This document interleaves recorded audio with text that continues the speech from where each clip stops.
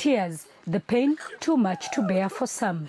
Tens of families shifting focus from the ill-fated mall to the mortuary. Those who made the journey here had hoped they would not have to. There is one bullet that tore direct through his eye. There are two others that has shattered his head and three others on the chest. But inside here was this group, those who failed to find their relatives in the hospitals and the mortuaries, including here at the city mortuary. With little information coming from the mortuary administrations, they opted to wait. The Kenyan government says the siege at the Westgate Mall is over. However, at the city mortuary, hundreds of relatives wait for the remains of their loved ones.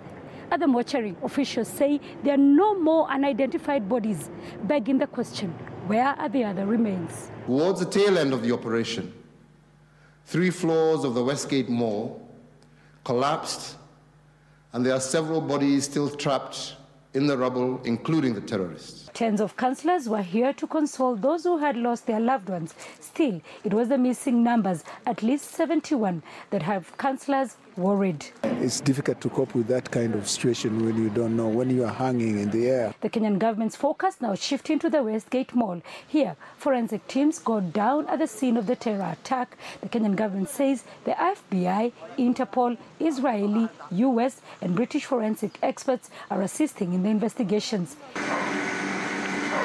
Kenyans are now beginning to speak, demanding justice and answers on how the terrorists managed to plan the attack without being detected.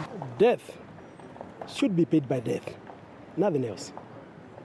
Because if you let him live, he will do the same to another person. Across the country, flags flew at half-mast as the nation began three days of national mourning. Sarah Kimani, SABC News, Kenya.